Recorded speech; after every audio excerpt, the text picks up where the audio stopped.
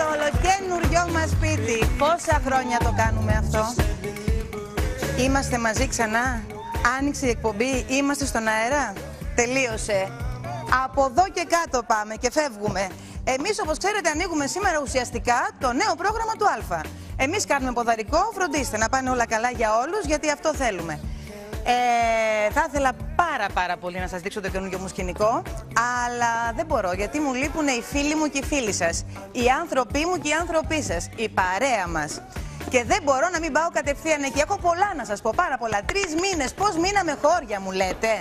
Πώς το καταφέραμε αυτό; Κάθε χρόνο τόσο ήταν. Φέτος μου φάνηκε ότι λείψαμε πολύ.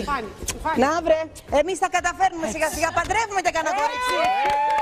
Αλλά πολύ σιγά σιγά το Σιγά κάνουμε. σιγά τα άλλα δύο. Έσπασε η Σιγά σιγά. κατεμίλα, ο πρώτος γάμος. Ο πρώτος γάμος των τελευταίων Το δύο τελευταίο. ετών. Γιατί κατά καιρούς είπαμε, όλο και κάτι γίνεται. κουτσά στραβά. Ελένη μου ξέρεις, Ετοιμαστείτε. πόσες μέρες ξοδεύουμε. Αγόρι μου, Καλή σεζόν. για μένα είναι αυτά. ναι, ναι, τι Αγάπη λες μου, τώρα. κολόνα του σπιτιού μου. Τι λες τώρα. Τι γίνεται, σου λέει, Μαν φέτος; Ε, είπαμε, βρήκα το στυλ μου στα 55 μου. Εσύ και όλα τα νέα ωραία μοντέλα. Ναι, ναι, Κάτσε ναι. να πάω να φιλήσω από εκεί. Ό,τι Εσένα έχει για μείνει. να σε ετοιμάζαμε. Ό,τι έχει μείνει, τι είναι. Μα τι νέα είναι αυτά. Τα δικά σου όλο το καλοκαίρι.